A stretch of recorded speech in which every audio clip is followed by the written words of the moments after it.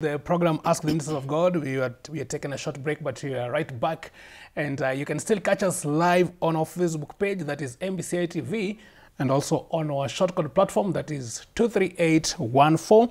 You can give us a comment or two in this particular conversation, and we'll be glad to sample some of your opinions on the same. On set is Apostle Dan Gishimu, our resident minister on this particular show, and also I'm being joined by Pastor John Dodo. We are looking at the topic what are some of the roles that a Christian should play in the community? And of course, we are taking a short break, but uh, Pastor John Dodo, karibu Yes. tena. Thank you. Now, uh, looking at this particular subject and Yes. also in relation to quite a number of Christians and the arguments that maybe some of them would have that it's uh, disadvantageous or maybe they find it a challenge maybe to interact or maybe even to socialize uh, with the community which maybe they want to say quote in quotes that maybe they are in darkness and therefore they don't want to defile themselves and want to keep themselves away from them how do you uh, look at such an argument Now, in the first place, we are sent to the world. Before he left this world, he gave the what we call the Great Commission: "Go into to the world and make disciples of all nations." Mm. Our first responsibility as Christian is to the world, wherever they are. We've been sent to every creature. Mm. The um, Mark's account of those words says, "Preach to every creature." Mm. And therefore, it is disobedience every time I think um, by interacting with the lost, I'll be defiled. I've been sent to them.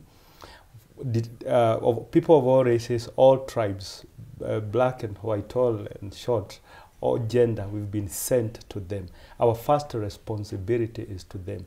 And that's how we win them to Christ. And Christ gave us what we call the ministry of reconciliation. Because the world is lost, we are the people who are in the gap between Christ and them. So any other responsibility is secondary. The first responsibility of a saint is to win them to Christ, to let them know Him, uh, to let them uh, be impacted by Him because they do not know Him. So we are in His place. He came to the world to seek the lost, and He delegated that responsibility to us. And if it is disobedience every time you think you should not, as a Christian, you should not interact with them, it is Right. disobedience. Uh, it is failing your principal responsibility as a Christian. Mm. Even other ministries follow that one. The principle mm. is winning souls mm. to Christ, attracting them to Christ. Let them know Him because they do not know Him. When that has happened, the others follows. Uh, civilization, education, provisions, and all that. But they are so souls first. You see Jesus saying, "What will it profit a man if he gets, gets the whole world and lose his soul?" So the soul of a man. In fact, he said, uh, if you look at that scripture, it, it, we see it um, has a lot of value than the, the total wealth of the, the world. And that's why he came to seek the lost. So that soul first won to Christ, another follows progressively.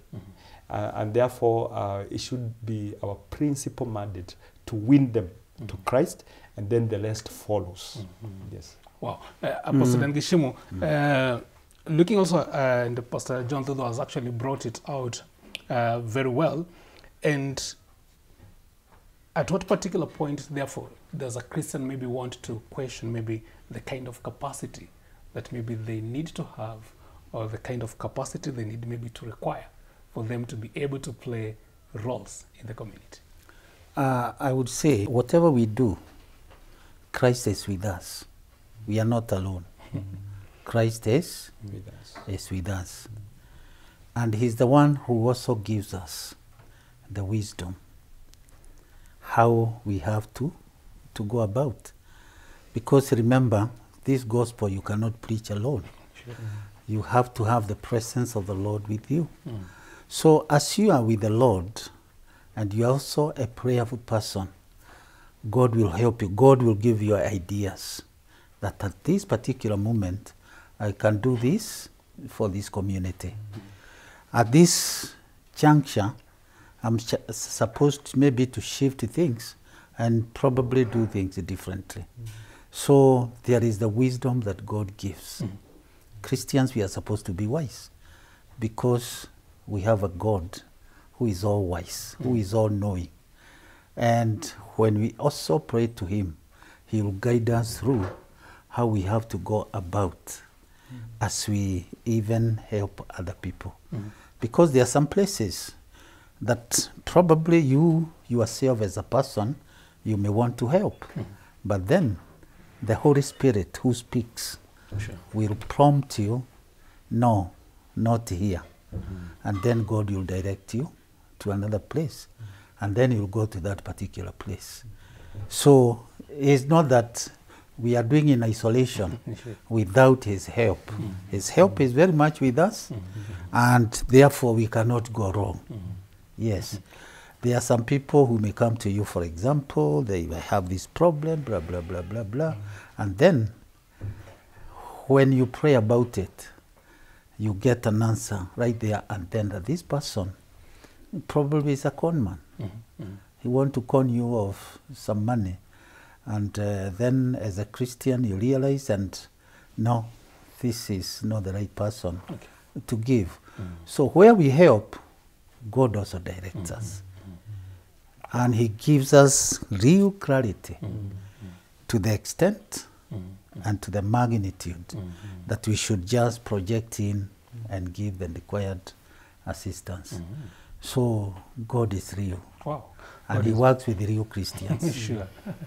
yeah, that's quite um, uh, very uh, interesting there. And Pastor John, the, as Apostle said, Yes, yes. uh, the, the place of discernment and also the reliance Yes, on the. Holy Spirit for a Christian to be able to know. And also, maybe what you'd also want to say, maybe to someone that they have the desire, but maybe there is that spirit or there is that challenge. I mean, they want to, they, they, they, are actually maybe desperate or they are looking down upon themselves in relation or regarding to what they can actually do to the community. Mm. Yes, yes. Um, we, you see, Jesus first empowered them before he sent them. We, having trained them, he had stayed with them for three and a half years, and uh, having trained them, that was for equipping them. They were mentees and a mentor. Uh, he was training them. They were observing what he was doing, how he attracted the Mm. crowds to himself. You remember when calling those of them who are fishermen, he told them, Follow me, and I'll make you fishers of men. By staying with them, he was training them how they would win souls, they would fish people to, uh, to himself. And then he, later on, he told them, Tarry in Jerusalem until when you're endued with power from above. Mm. That's the Mm. capacity. You wait, and then they wait. They had to wait for a number of weeks, and on the day of Pentecost, the power of the Holy Spirit came upon them. So when they began, like on the day of Pentecost, they had been uh, empowered. Okay. Th- th- Because this is a spiritual activity, Mm. it needs Mm. spiritual Mm. empowerment. Mm. It is a, a spiritual responsibility. It takes a spiritual endowment. You can't do it in the energy of the flesh. Mm. You need to be to be empowered, and uh, and that's why God has provided the capacity to achieve it, including wisdom, the power of the Holy Spirit. And you know, re- the even resources. When they left, He told them, "Don't carry a pass or change Mm. of raiment." Let alone He asked them, "When I sent you without a pass, without change of clothes, lacked you anything?" They said, "Nay." They had not lacked anything because on the way He provided them. So there, there is the provision for the responsibility Mm. that God uh, gives uh, part time. Wow. Yes, yes. Absolutely awesome there. Apostle Dan Gishimu, um, quite a number of Christians, uh, and maybe this is one of the deceptions from Mm. the enemy, that you play a role in the community and maybe you don't feel maybe how fulfilling it is, or maybe you don't see the reward. But certainly, this is not an exercise in futility when a Christian plays a role in the community. You know, the Bible says, whatever you do, do as though you are doing it unto the Lord. Mm. Remember, this community belongs to God. Mm. And as a Christian, you have a responsibility. Mm. Not looking for the reward, Okay. But looking for what you know you can do to those particular people. And it is very, very important that as a Christian, you remember anything you do You know, I, I love my friend uh, who really teaches, and he teaches very well. Uh, his name is John Nganga. And uh, whenever John Nganga uh, is teaching about, uh, Uh, especially on issues concerning professionalism, in fact, he has even written books on professionalism, Right. he emphasizes that even if you are an accountant, that is a call. Mm. Just like a pastor has had a call, you know, from God. Why? Because an accountant is also important. We mm. need somebody who can do balances for us. Mm. Uh, for the things that we do, you know, uh, concerning funds and what have you. So, whatever you do, do as though you are doing unto the Lord. Sure. And should you expect any reward, expect the reward From God. from God because God is a rewarder. You get the point. Exactly. Very true. I believe my viewers Yes. get the point. Mm-hmm. Pastor John Thiva, exactly just as Apostle said, Yes, yes. that it is not a matter of a Christian playing a particular role in the community, mm-hmm. maybe to be seen by the mm-hmm. community, maybe to be seen by a mere human being, but to really concentrate on the supreme being that is God. Yes, it is service to God. It is He's the one. we- see in Colossians three twenty three. Whatever you do, do it heartily as unto the Lord, not unto men. He's the one who rewards. The good thing, as Apostle says, God rewards. Our labor in the Lord is not in vain.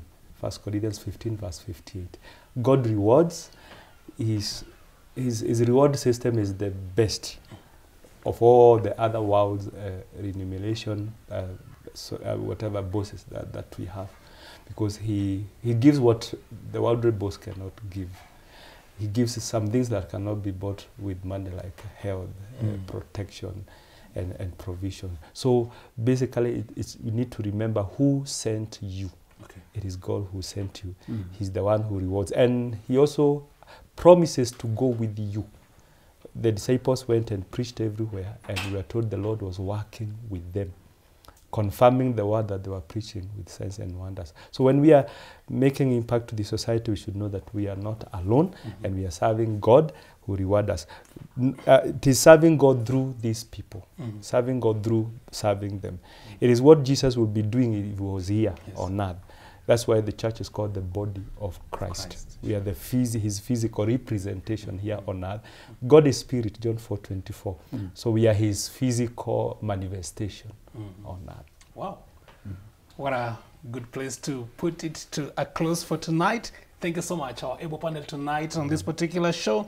Pastor Dan Gishimo, resident minister, we really appreciate your insights on the roles that a Christian should play in the community. And also, Pastor John Dudo, always a pleasure to have you in this particular set. Thank you. God bless you so much. We bring it to an end at that particular point. We also want to appreciate your views and also your uh, contribution on our discussion. We'll do it again next week at a time like this. Enjoy the rest of your programming. My name is Mangicho Mola. Have a blessed evening.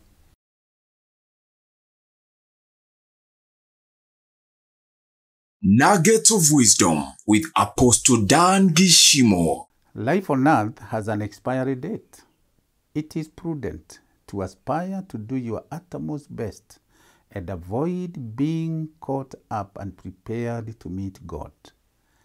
The earth's expiry date is certainly unavoidable and cannot be reversed or otherwise changed. So, align yourself with the purposes of God.